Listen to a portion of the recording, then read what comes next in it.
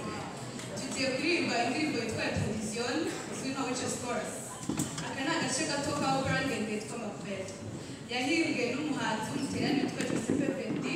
mu gihumbi magana inani mirongo ine na karindwi mu rurimi rw'igitaliyani ariko turi buririmbe verdi wahimbye indirimbo yavutse ku itariki icumi z'ukwa cumi igihumbi magana inani na cumi na gatatu yitaba imana ku itariki makumyabiri na zirindwi z'ukwa mbere igihumbi magana cyenda na rimwe. Verdi yamenyekanye mu bihangano bikine ibizwi nka opera zamenyekanye cyane harimo la traviata irimo indirimbo nka libyamo n'izindi yarahimbye opera izwi cyane yitwa trovator irimo indirimbo nka infant chorus n'izindi yahimbye kandi na opera yitwa nebuko irimo indirimbo izwi cyane yitwa va pensiero iyi opera ya macbeth yahimbye agendeye ku gitabo cyanditswe na william shakespeare umwanditsi w'umwongereza wabayeho kuva mu gihumbi kimwe magana atanu mirongo itandatu na kane kugeza mu gihumbi kimwe magana atandatu na cumi muri iki gitabo ari na byo bivuga muri iyi opera umusirikare muto w'umunyascotland utandukanye witwa macbeth yahanuriwe se cyangwa se yapfumuriwe n'abapfumu batatu ko umunsi umwe azaba umwami wa scotland. Muri aka gace tugiye kuririmba kazwi nka witches chorus gatangira abasirikare bari kumwe na macbeth bafatanyije n'umugore we bagose ubwami bwa scotland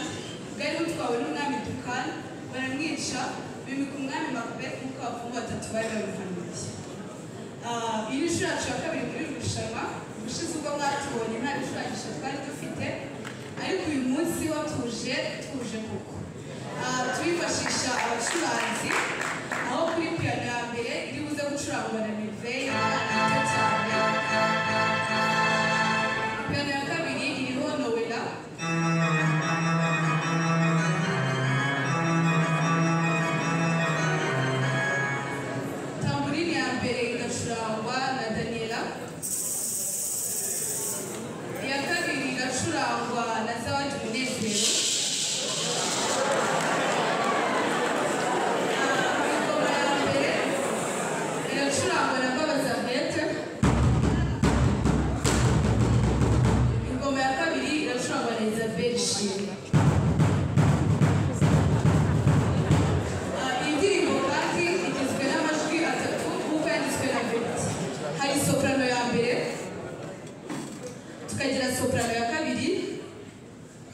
ndetse na soprano ya gatatu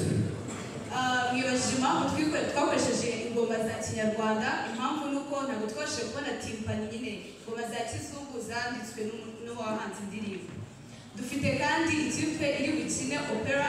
yerekana mu buryo buzimye icyo indirimbo turi kuririmba isobanuye umuyobozi wa korali ni berin